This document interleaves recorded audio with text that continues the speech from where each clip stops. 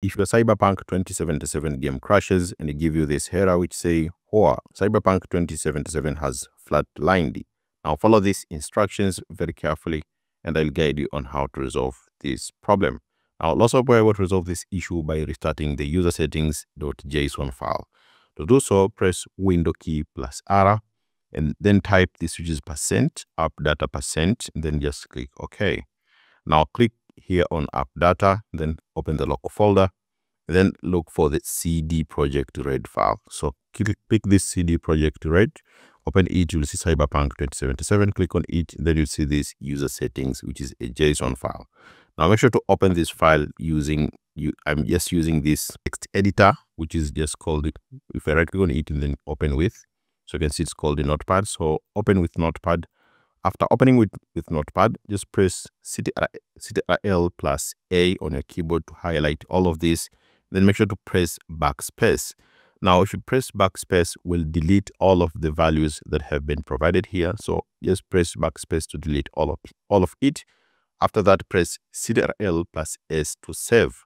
And then you can cancel this, then try to relaunch the game. Hopefully, this will just fix your problem. So make sure to open this user settings, which is a JSON file, hit Ctrl plus A and then it will highlight like this. Press backspace to delete, then press Ctrl plus S to save, then try to launch the game.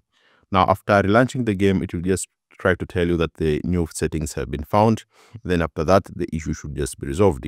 Now, if you have done so, but are still facing again the same issue, close all background apps before launching Cyberpunk. So you can open Task Manager so before opening the Cyberpunk 2077, go to your task manager. Now look for any running processes like Discord or just any process here, like any process that is running, which is not related to your game. Make sure to end that task. After ending the task, you can end the task by just right-clicking it and select here end task. After ending task for the running processes that are found here on the apps, try to relaunch the game. If you're still facing again the same issue, try disabling full screen optimization. To disable full screen optimization, Make sure to go to your game where it has been installed. So my game is found here, which is Cyberpunk. So here's the game. Now look for the game that you use to run. So my game is found here. So here's the game which I can run, which is application. Make sure to right click on it and then go to properties and then go to compatibility. Now make sure to check this disable full screen optimization.